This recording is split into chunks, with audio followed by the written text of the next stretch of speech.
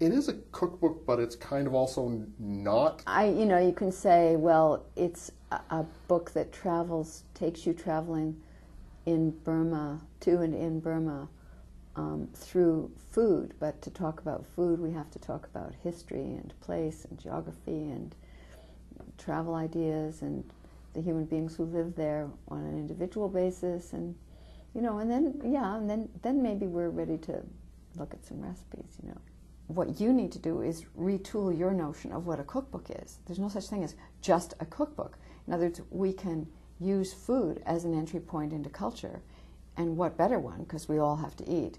And in the course of exploring culture through food we get to find out about many many other things. And so that's sort of what the book does. And then, then the other trick, of course, is okay, so this is my interest, this is what I like doing, is to have the luck of having a publisher who's generous enough to give give the scope and not just not publish merely recipes, but also all the other things that give them context. You know. The food, um, because of its location and because of how big it is, um, lots of, of, of, different varieties of food. Um, so the closer you get to China, the more kind of Chinese influences. Um... Not quite so clear as that, but more cultural. Di- I mean, there's an inherent cultural diversity. So you have the central, the Bamar people in the center of the country. Um, Burmans is another term, um, and then you have the various states which are named after the majority people in that state, the majority culture, and they're very distinct.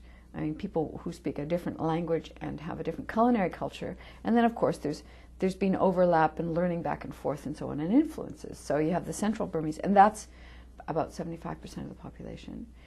And then there's the uh, Shan, who are a large group. There are, there are actually several sort of subgroups of them, but they call themselves Thai. In other words, they're, they're a Thai culture. And so, and they don't use, traditionally don't use fish sauce. They use salt. And they don't use dried shrimp. And they use salt and fermented soybeans. And then there's the Kachin, eh, which is the northern lobe of the country, and they're hill people. And they're again a composite, that's an, an umbrella name for a bunch of different peoples um, who are, whose food is largely traditionally steamed and so on because they didn't have lots of oil. So you, it's efficient, uh, the most efficient way of cooking is to steam over water um, in banana leaves. Um, and there's other ways of now working with that food and keeping that sort of traditional feel, but not having to have banana leaves.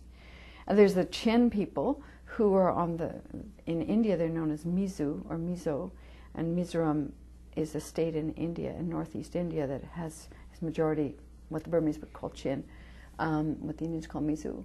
And those people, again, it's a composite name for a whole lot of subgroups because, you know, people lived isolated in valleys and there's different textile traditions and music traditions and, and food traditions depending on what elevation they were at.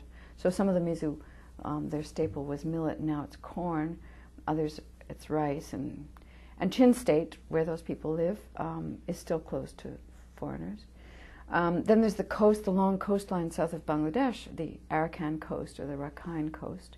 It doesn't help people trying to learn the geography that the government has changed the names of everything anyway, the Arakan coast, which was the first part of Burma to be conquered by the British in, in 1826, um, and that that's quite that's sort of like Central Burmese food, but there's more heat, perhaps because they're close to Bangladesh, um, and uh, and then in the south, some of the food in the south of Burma, the tail of the kite, they're of course close to the Thai border, and also it's getting more and more tropical it's very coastal. I mean, it's, it's, there's not much of an interior before you hit the Thai border. And so that food is quite like some of the Thai food in, uh, in southern Thailand and Phuket. Um, and again, more chilies and there's galangal, more lemongrass and um, not much, um, not much non-seafood that I could tell. Um, but you know, every generalization has its exception, right? So and then there's the Karen. there's all sorts of other groups. I mean, it's really so culturally diverse that um, it's, it, I mean, the analogy really is India, which is layered and layered and layered with culinary and religious and, you know, ethnic identities. And so there's there's contact points where there's some cross influence, and then there's these pockets of things that are, you know, this person eats this and not that. Um, and Burma's a sort of um, smaller, um, simpler, but still very complex version of that kind of picture, you know. Um, and it hasn't because it hasn't modernized much.